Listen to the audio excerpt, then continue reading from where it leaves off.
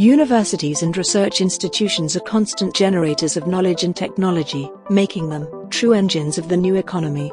They generate groundbreaking inventions to improve the way we live. In our knowledge based environment, technology transfer plays an essential role in bringing the ideas from the lab to the market.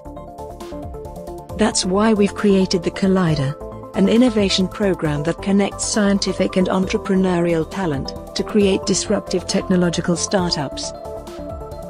How do we do it? First, we define industry challenges together with corporate partners.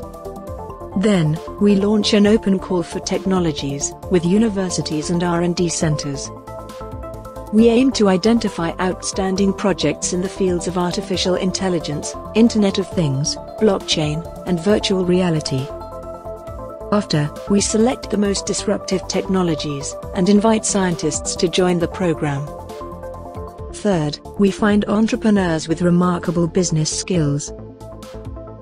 Then, based on our unique methodology, we match scientific and entrepreneurial talent and create high performance teams.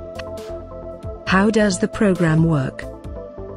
All teams will go through six months intensive training. The first two months, they will be working on opportunity validation. Then, our expert committee decides which projects pass to the venture building stage. The ultimate goal of every new edition is to create new disruptive startups with a marketable product or service.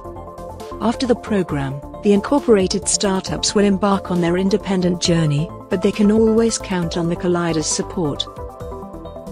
Join the Collider if you would like to apply your research skills to change the face of tomorrow.